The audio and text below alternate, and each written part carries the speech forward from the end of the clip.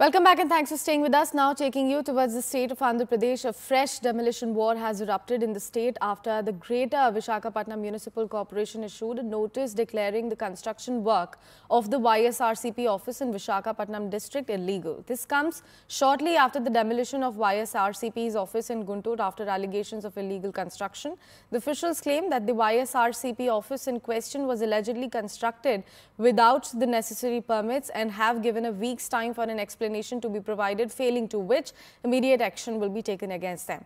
Now, YSRCP has reacted sharply to the matter, promising legal action against uh, Chandrababu Naidu's TDP. Former Chief Minister Jagan Mohan Reddy has alleged political vendetta and said that Chief Minister Naidu is indeed acting like a dictator in the state. On the other hand, TDP has denied all the allegations against them, saying that the law is only taking its course. Take a look at a couple of reactions coming in.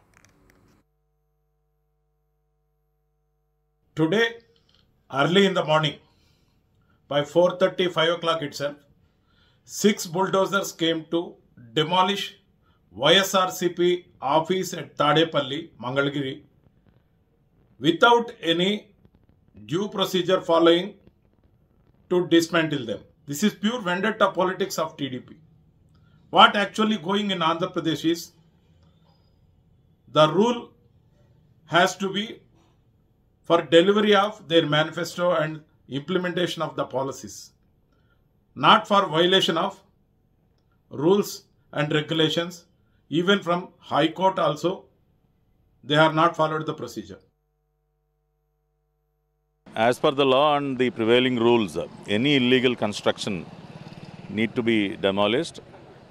And today, the party office of the YSR Congress Party, which is being built illegally, without obtaining any permissions from the concerned departments is being uh, demolished today as per the rules prevailing by the concerned departments. This has nothing to do with any kind of uh, uh, political vendetta as the YSR CP is alleging.